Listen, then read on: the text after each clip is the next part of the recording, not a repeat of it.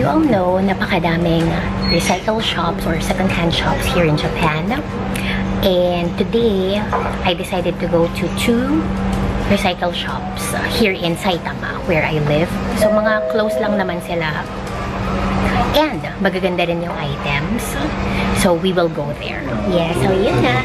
So kung isa ka sa mga mahihilig sa mga branded stuff like Louis Vuitton, Celine, and so on, please keep on watching and baka meron kang makita na magustuhan mong bag and I can buy it for you. So today, ito ang una nating pupuntahan. It's called Treasure Factory here in Saitama. Go to bags.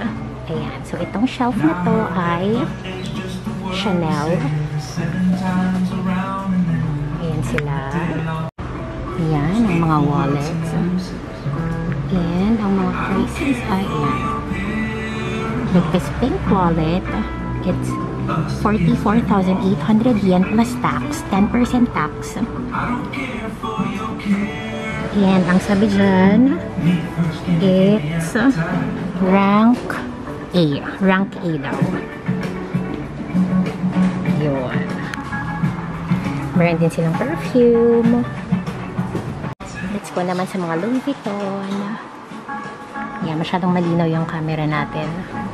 But this one is 37,800 yen. Yan, mga wallets.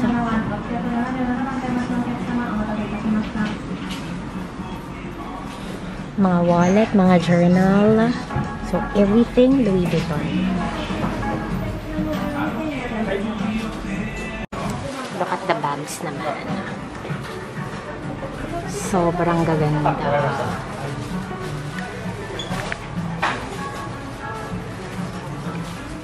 Ito ay super nice. And this one is 69,800 yen plus tax. Grabe, ang ganda na itong pula na to, oh. This one is only 49,800 plus tax.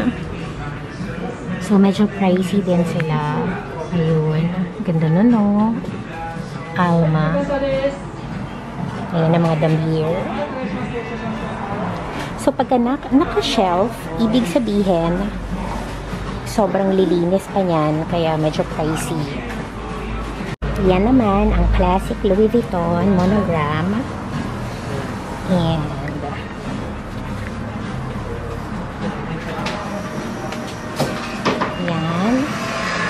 So, ang mga prices like this Alma is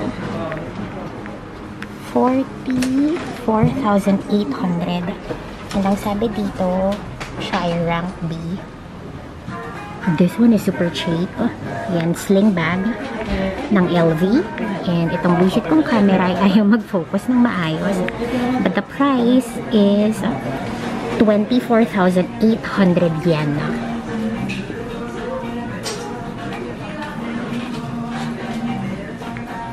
Ito pouch. Ay, ang ganda na itong pouch na to. This pouch is only 8,800 yen plus tax. Ayan, mga never fall. Ayan. Sobrang nice. Ayan, more coach. So, nasa loob siya. So, which means, magaganda. And example of that is, ayan, it's nice. It's 34,800 yen. May Jimmy Choo, oh. Hmm. Baka mahilig kayo sa Jimmy Choo dyan. Grabe, 3,000 yen lang. So, tingin na lang tayo sa ibang shop. Okay, so ito naman ang next recycle shop na pupuntahan natin. It's called Off House.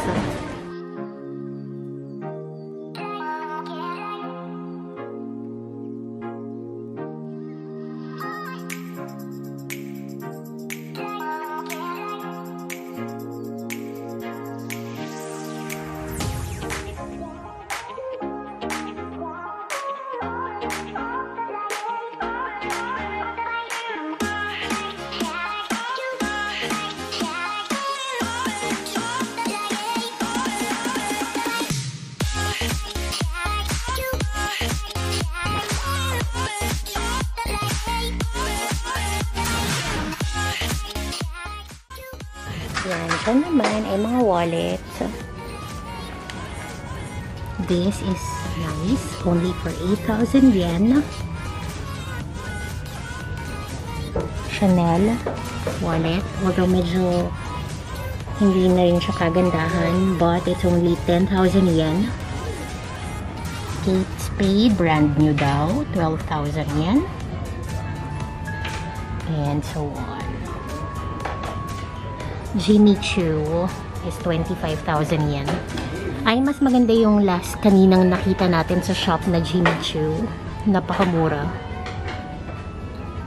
So, yun.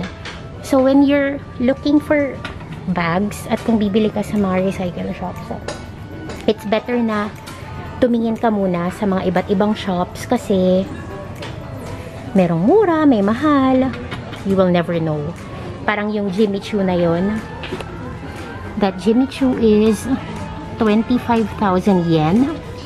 And, yung kanina parang wala pa atang 3,000 yen ata, I think. Tinatignan ko to, yung 10,000 yen na wallet and that 7,000 yen na wallet. Let's see kung maganda pa sa loob. Mga long wallet sila. Okay, so ito yung bag. Ah, no, wallet pala. Damier. And it's only 10,000 yen. But, ayan na siya sa gilid. Medyo luma na rin. Maybe rank C ito. That's a price. Sa loob, ganyan. Wala siyang lagkit, but signs of usage na. This one is only 7,000 yen. And, ay, ito ay maganda. Meron siya mga pen marks over there, kaya siguro minurahan. And ayan. But, maganda pa siya sa loob. Malinis siya sa loob. Pati ang coins ay nice pa. Hmm, parang maganda itong pangbenta. This bag is very nice din. Eh, napakamura. Napakalaki. Vernice. Pero ang problema niya ay madumi. Madumi na siya. And this is only... Ichimang yongsen yen desu. Ichimang yongsen or... Zenmuchi ichimang yongsen yen desu. Hi. So, mga 7... Ichimang, mga 7,000 pesos. So, inside, carry pa naman. Pero outside, ayan siya. Kaya sinail dahil ang dami ng marks. Okay. So, yan. Pag-iisipan ko yan. Gusto ko din to eh dahil malinis naman siya. But, I need to search kung paano alisin yung mga marks na yan. Okay. So, this Speedy 25 is only 18,000 yen. Mura yan. Pero, okay naman siya. But, ayun o, ang damage niya. Maitim na. Pero, pwede naman niyang itago ng mga pape, yung mga fabric. Uso naman yun. Ayan, nawala na yung panghila niya. But still, okay lang naman. Inside, let's... So, inside, ayun nga yung sinasabi ni ate. Natanggal na daw yung dito. Tapos, pagkatingin ko sa loob, inside, malinis. Super linis. And, ayan siya. Natanggal. Pero super nice pa niya. Parang bet ko din tong bilhin para sa aking Facebook page. Okay, and that's it. Yan ang mga bet natin. Hi guys! Hi friends! So we are back home na. I think ang nabitan ko doon is yung Speedy 80, uh, Speedy 25 na 18,000 yen. And yung napakalaking Louis Vuitton na vernice. And yung wallet na 7,000 yen. Yung Jimmy Choo na wallet na napakamura na 3,000 yen lang. How about you? Anong mga nagustuhan niyo dun sa mga bags? Feel free to comment and I hope you enjoyed this video. And again, katulad nga ng sabi ko kanina, kung meron man kayong nagustuhan, maybe I can buy it for you.